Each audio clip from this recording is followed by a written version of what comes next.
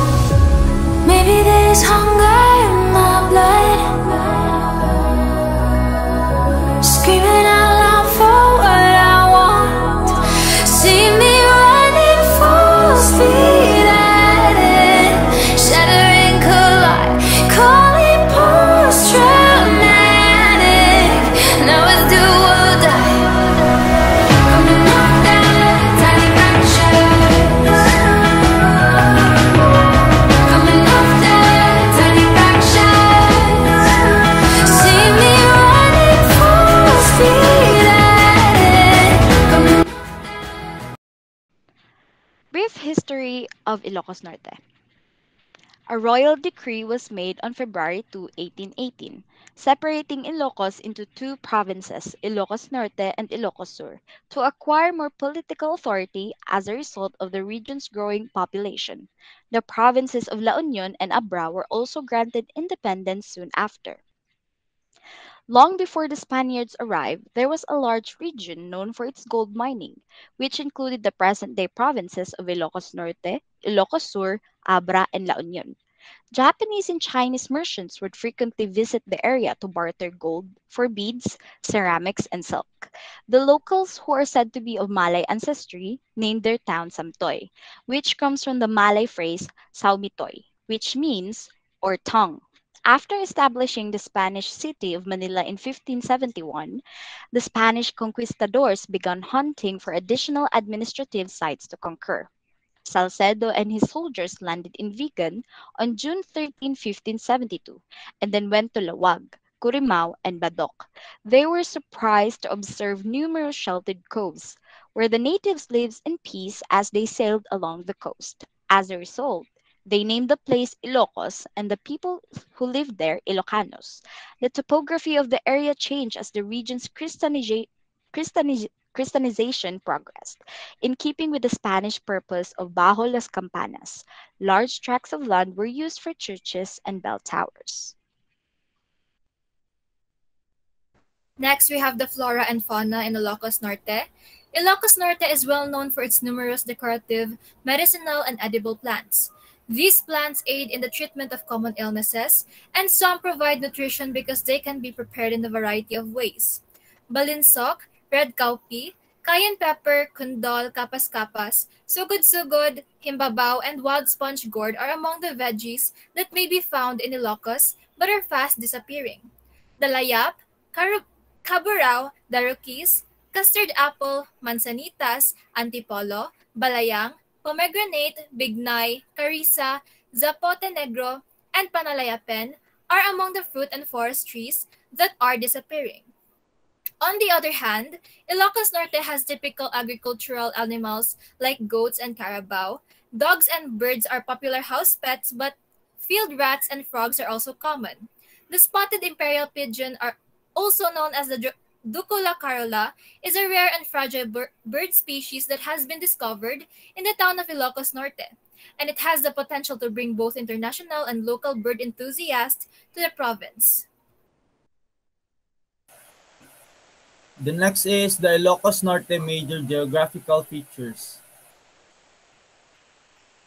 Region 1 or the Ilocos region is found in the Philippines northwe- northwestern part of Luzon in the Philippines.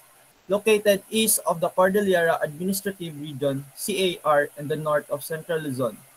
The region is both a coastal and predominantly mountainous region with varying levels of elevation in its topography. The clim- climatic patterns in Ilocos Norte.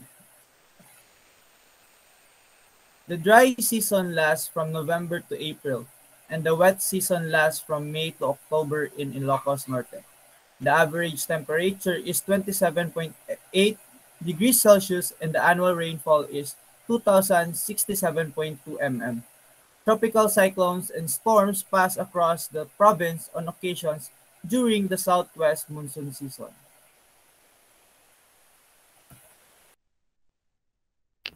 Next is architecture in Ilocos Norte. The provinces of Ilocos Norte, Ilocos Sur, La Union, and Pangasinan make up Region 1. Spanish architecture and renowned beaches distinguish this region. Iloc- Ilocos Norte is a province in the Philippines. The St. William's Cathedral in Laoag is one of many historic churches in Ilocos Norte. The provinces of Ilocos Luzon in the north of the island have some of the most remarkable specimens of colonial architecture in the Philippines. Ilocos Norte is a delight to visit because of its picturesque beauty and rich culture and history, which is portrayed in communities with clean and neat streets that contrast with Manila's hectic traffic jams. Culture elements in Ilocos Norte, starting with arts. Ilocos region has different unique arts and crafts such as binatbatan or the beating of cotton balls using bamboo stick to separate the seeds. Abel fabric is a spe- special fabric made of cotton by doing binatbatan. Abel fabric is the traditional woven product of Vigan and Ilocos region. It is known for being strong and colorful material. This fabric is made by up yarns or cotton or sagut that are sourced from many lands in northern Luzon. Ilocos is also known for its oldest traditional way of waving, which they call panagabel or loom waving. Until now, panagabel is still very much practiced in Ilocos region, Cagayan, Isabela, and Cordillera. This traditional type of waving can be done by using wooden tillers, bamboo stick, and native threads or yarn. Ilocanos patiently weave traditional Ilocano handcrafts such as inabel or fabric fabrics called burnay jars are folk arts that have been passed down for hundreds of years. Next is music. The voice of the Ilocanos has been heard via music. Music is an expression of emotion, nobility, magnificence, dignity, love, and tenderness, much like any other art form. Many Ilocano songs are now performed by singers from Ilocos Norte. In the Ilocano music scene, bands like Cabagis and Borcos, as well as balladeers like Rudy Corpus, Pasita Domingo, and Adelaida Ramones are creating waves. Next is literature. Ilocano literature refers to works by writers of Ilocano heritage written in any language, including Ilocano, English, Spanish, and other foreign and Philippine languages. Scholars consider Ilocano literature to be the richest and most developed in the Philippines, second only to Tagalog. Literature in Ilocano language can be traced back at the early 7th century. This legacy includes several religious documents, poems, riddles, or burbukcha, proverbs, epic stories, folk songs, and other literary, literary works. There is a substantial body of Ilocano literature today, including newspaper, journals, or such as Banawag, Ilocano authors have also had their works published in other nations. In fact, at the moment, the most widely translated Filipino novelist in Ilocano from Rosales, Pangasinan is Francisco Sionil, or also known as F. Jose Sionil. He is most known for the Rosales Saga, a five-novel series about the Ilocano clan that spanned the Philippine history from the Spanish era to the Marcos government. Beliefs. Are you familiar with witch and sorcerers? Well, in Ilocos Norte, Ilocanos believes in these creatures. They believe that ghosts are to blame for the majority of human ailments. For them, accidents are frequently linked to the supernaturals, like witch and manamay or sorcerers. Next, in terms of religion, Ilocos Norte mostly comprises of Roman Catholics, since Spanish colonial settlers converted Filipino into Roman Catholicism. In the Philippines, Catholicism mixes the veneration of patron saints with the beliefs in supernatural forces. Many people seek herbal therapies from faith healers for physical illnesses. In terms of language spoken, majority of the Ilocana speaks Iloco, which is a member of Austronesian family of languages and belongs to the Northern Philippine subgroups. As a second language, they speak Tagalog and English. Social organizations. So way back in the Spanish era, social organization is very rampant, and one of these is the Ilocos. Upon interaction with the Ilocano people, Spain coined the name barangay to describe the communities in the Ilocos region. Although the Ilocano people termed their towns Li and a smaller clump of dwellings Purok. The Li's residents were divided into social classes. The system was based on the chief of Ag- or Ari and his family at the top of the class. Folklore A, giant named Aran, built the sky and hung the sun, moon, and stars in it. According to one Ilocano creation myth, the enormous Angalo, Aran's friend, could see the world under the light and sculpted it into mountains and valleys. The giants discovered a windy and bleak planet they had made. Agriculture in Ilocos Norte. Ilocos Norte is blessed in abundance with land crops, livestock, and agriculture. Ilocos registered 276.8 thousand farms for agriculture use, covering 270.7 thousand hectares, with 0.98 hectare average per farm size. Ilocos is well known for its tobacco industry, along with other crops like palay, corn, mango, ipil-ipil, banana, guava, and coconut. In terms of livestock raising, raising hogs, cattle, goats, and carabaos, chicken, and ducks are the primary poultry activity in Ilocos. Next, we have the Philippine indigenous culture of Ilocos Norte. The people of Ilocos, then known as Samtoy, lived in a big settlements near protective coves or river mouths and traded with the Chinese and Japanese when the Spanish first visited them in 1572. From Cape Bojeador on Luzon's nor- northwestern coast to the Gulf of Lingayen, the four provinces of the Ilocano homeland, namely Ilocos Norte, Ilocos Sur, La Union, and landlocked Abra, span. Ilocanos also observe national and religious festivals.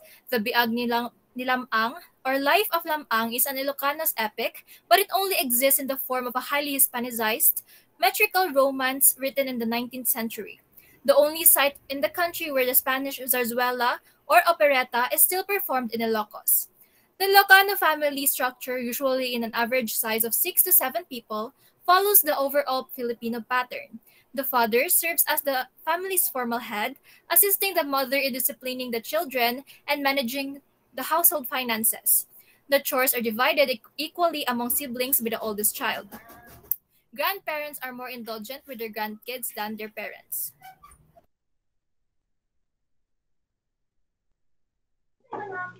Food in Ilocos Norte. Agriculture and fishing are the primary sources of income in the Ilocos region, which complement the region's physical features of flat plains by the sea. In the past, much of this contributed to the local way of life and culinary scene. The Ilocanos, who were largely active farmers and fishermen, prepared modest snacks, treats, and entries using fresh farm produce and little spice. They frequently tossed together whatever they could find in the kitchen in a pot boil. The Ilocano people have retained this cooking approach, which is fresh, simple, flavorful, and nutritious. Throughout our nation of islands, Ilocos Norte is known for its robust culinary heritage. It's a salt-loving, porcine, dominated regional cuisine known for its delectable dish- dishes.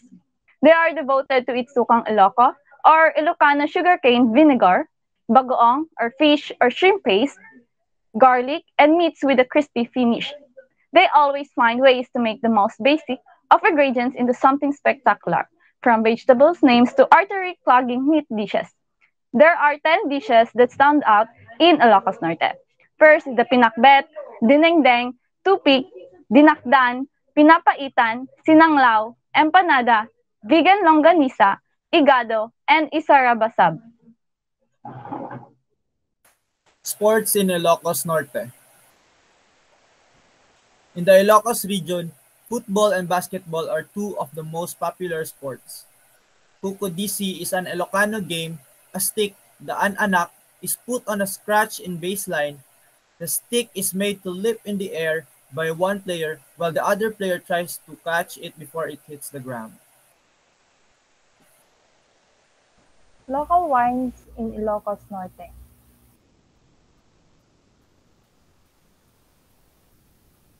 Sugarcane wine or basi is a traditional drink in the Ilocos area that dates back to before the Spanish colonial era. It's produced by fermenting sugarcane juice that's been extracted then boiling it in vats and storing it in clay jars or tapayan. Tapayan is a versatile material that can be used for water storage, fermentation, and cooking. Fruits and bark such as java plums are added after the juice has cooled. Then, they are sealed with banana leaves and fermented for use. Tourism services and local facilities of interest to visitors. Ilocos Norte has a lot of tourism services and local facilities to offer that would definitely pique the interest of every tourist. The following are some examples AAA Traveler's Pad, Paoay Church, La Paz Sand Dunes, of course, the Bangui Windmills, and Kingfisher Resort. Trivia about Ilocos Norte. The Philippines Ilocos Norte province is located in the Ilocos region of Luzon. The capital of Luzon Island, Laoag City, is located in the northwest part of the island, bordering Cagayan and Apayao to the east and Abra and Ilocos Sur to the south. The South China Sea borders Ilocos Norte on the west and the, Lu- the Luzon Strait on the north. Former President Ferdinand E. Marcos was born in Ilocos Norte, which was known for his dictatorial authority over the country during the latter half of his presidency. In the province, the Marcoses are somewhat popular. Ilocos Norte is also recognized as a northern vacation destination since it is home to Fort Ilocandia, a high-end hotel and a beach resort popular with expats and Pagudpud. Next is list of travel suppliers. Accommodation. If what you're looking for is a conven- conveniently located hotel in Laoag, look no further than AA Travelers Pad Hotel. Only 3.8 km from the city center, the hotel's strategic location ensures that guests can quickly and easily reach many local points of interest. With its convenient location, the hotel offers easy access to the city's must-see destinations. At AA Travelers Pad Hotel, the excellent service and superior facilities make for an unforgettable stay. Top features of the hotel include free Wi-Fi in all rooms, 24-hour front desk, car park, room service, and airport transfer. Restaurant. Cuisine de Ilocos menu mainly consists of the well-liked Filipino dishes and Ilocano specialties. Originally, it was supposed to be an international menu with Arabian, Chinese, and American dishes. But because of the booming tourism in Ilocos Norte, the siblings decided to just stick with the region's finest local cuisine. The cozy ambience of the restaurant will make you feel like you are in a modern house with bamboo walls and a nipa roof. You can either dine in with their alfresco dining area or stay indoors and admire the paintings hung on the wall from Philarts Incorporated, a nonprofit organization which is also available for sale. Saramsam Ilocano Restaurant and Bar is an in-house restaurant of Balay de Blas Pension House owned by the Blas family in Laoag City. Locals and tourists alike are flocking over to this restaurant because of its homey meals and rustic Spanish interior, imitating an old Mediterranean house fused with Filipino elements.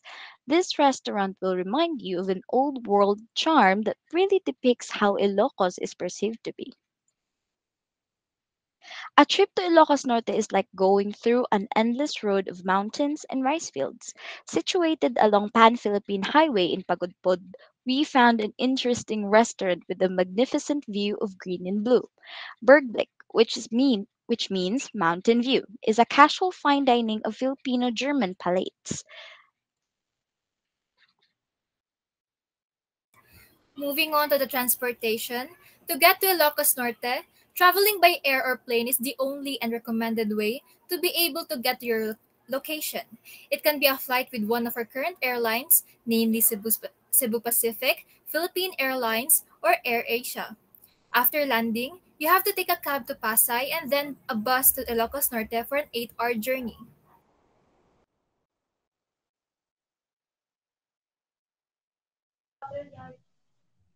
So there are different local sites for sightseeing in Ilocos, which are made in natural and man-made attraction. So first is the Paoay Church. Paoay Church is a national treasure of Ilocandia and a designated UNESCO World Heritage Site. It was built in 1896 by the Augustinian friars using coral bricks, which can be seen from its massive walls.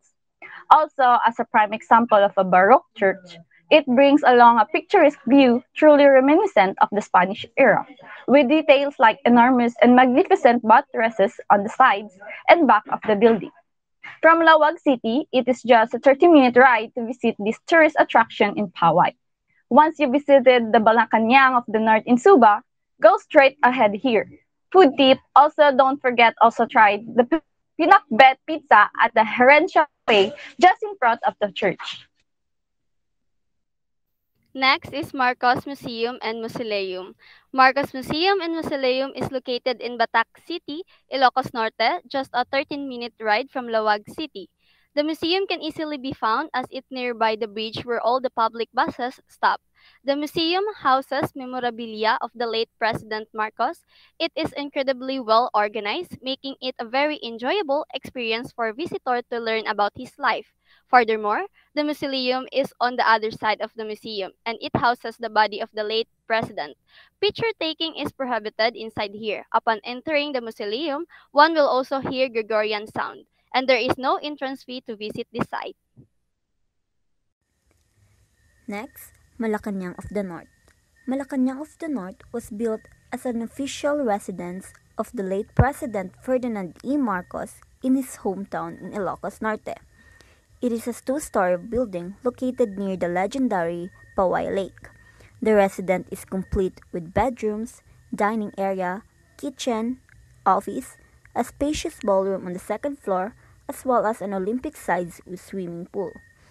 Also, it has expansive terrace and a beautiful garden with magnificent view of Paoay Lake. Ever want to visit the Sahara Desert in Africa or the desert found in the Middle Eastern countries? Just come and visit the unique geo- geological desert environment found in Ilocos Norte, the La Paz Sand Dunes. The activities that you can do in the tourist spot is go on a 4x4 ride, try sandboarding, and go on an ATV ride.